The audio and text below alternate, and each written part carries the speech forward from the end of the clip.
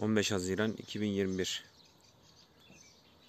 Çameli Sis bastı. Kışı yaşıyoruz.